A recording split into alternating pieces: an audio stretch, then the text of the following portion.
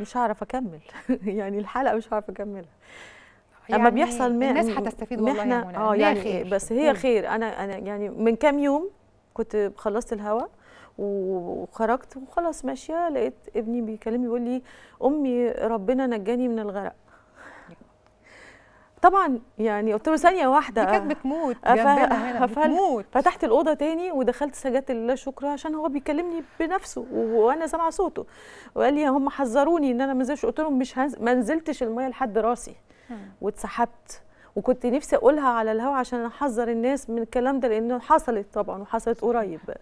الله يرحمه من الحاج حسن يوسف والحاجة شمس. ربنا يربط على قلبهم يا رب.